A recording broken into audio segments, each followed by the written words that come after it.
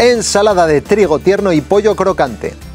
Empezamos cociendo el trigo tierno en agua hirviendo con sal. Mientras vamos a dar sabor a la pechuga de pollo con sal, pimienta negra molida y aceite de oliva virgen extra. Masajeamos, cocinamos en el horno a 100 grados durante una hora.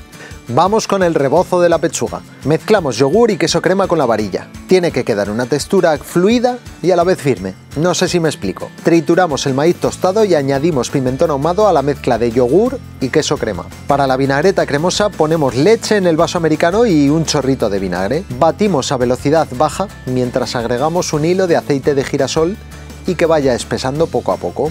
Añadimos aceite de oliva virgen extra para acabar de darle el toque de firmeza. También le agregamos el aceite de la lata de anchoas y unas cuantas anchoas. Ponemos un poco de miel, las espinacas y seguimos batiendo.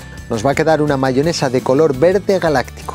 Ya está cocido y refrescado el trigo, así que lo alegramos con unos tomatitos cherry cortados por la mitad. Añadimos también cebolla morada picada fina, un kaki persimón, todo pelado y picado en daditos. Aliñamos con un par de cucharadas de nuestra vinagreta atómica y mezclamos bien. La pechuga ya está asada y enfriada, así que ha llegado el momento de cortarlo en tacos gruesos. Los bañamos en la mezcla de yogur y queso crema. Con mucho cuidadín los pasamos al cuenco de maíz picado y nos marcamos un rebozado ligero pero de escándalo. Para emplatar servimos la ensalada de trigo tierno en el plato y colocamos los trozos de pollo crocante por encima, unos verdecitos por el que dirán y... ¡Tachán! Vaya ensalada marciana y deliciosa.